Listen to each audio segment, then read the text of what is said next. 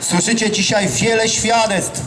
Świadectw, które mówią o realnym spotkaniu z Bogiem.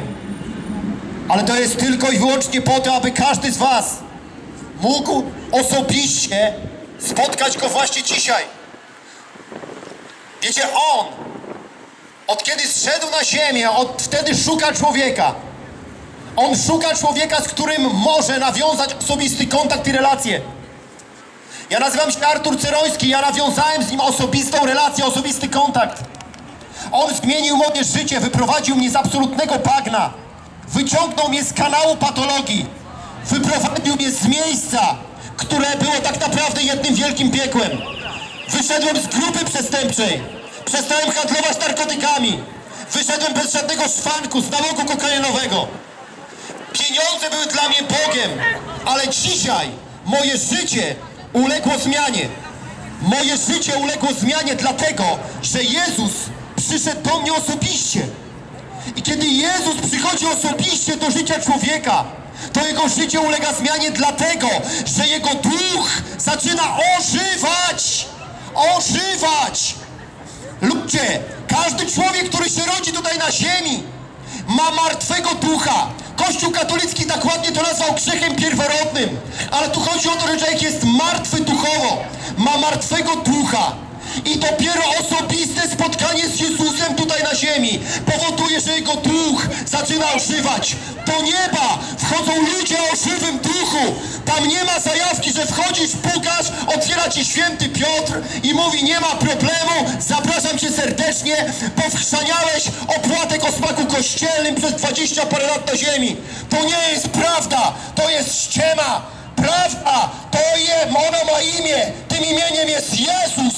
Jezus to nie jest opłatek, Jezus to nie jest ściemianie do klatki, Jezus to jest osoba się z Tobą jak z osobą, On chce wymienić z Tobą się swoim duchem, On chce władować życie do Ciebie, On chce pogrębić śmierć. Jezus zmiaszył diabła, diabeł to nic, diabeł jest pokonany.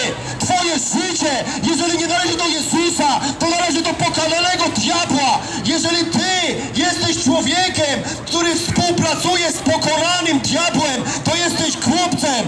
Diabeł jest niczym, jest kompletnym serem i nie mów mi, że ty nikomu nie służysz. Jeżeli nie służysz Bogu, to służysz diabłu, a służyć Bogu to nic innego, jak zaufać Jego proste słowa, w prostą Ewangelię, w to, że On umarł za nasze grzechy, że jesteśmy uwolnieni od potępienia, w to, że Bóg jakimi jesteśmy, ale nie może mieć z nami kontaktu, jeżeli tego nie zechcemy. Ale kiedy my zawołamy realnie w swoim sercu i połączymy się w Chrystusie Jezusie z Jego miłością do nas, to nastąpi potężna eksplozja. To się nazywa nowe narodzenie. Chcę, żebyś się na nowo narodził. Chcę, żebyś jeszcze dzisiaj zawołał do Niego.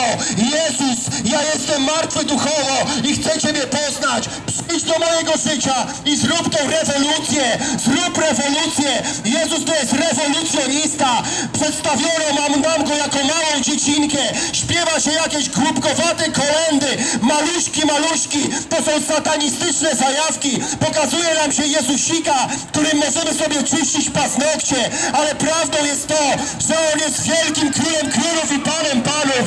A diabeł to jest zwykły pętak. On jest złamany pod stopami Jezusa. I wystarczy Twoja wiara w tą laskę, o której Ci mówię, żebyś trafił do nieba. Ale to zechcesz, to możesz skorzystać z tej mocy Boga tutaj na ziemi. Możesz zostać uzdrowiony. Możesz zostać uwolniony od demonów. Twoja dusza może się wyrwać z pęd innego człowieka. Jesteś w stanie być wolny, ale to wszystko zależy od Ciebie. Jeżeli zdecydujesz, to jeszcze dzisiaj zawołaj do Niego. Nazywamy się Kościół Mocy. Spotykamy się w każdą niedzielę na ulicy Kasprzaka 24. Uwalniamy chorych, uwalniamy zniewolonych, uwalniamy ludzi, którzy siedzą w patologii diabelskiej. Przychodzimy do każdego człowieka i proponujemy mu wolność za darmo, niebo za darmo. Przyjdź i weź swój cud.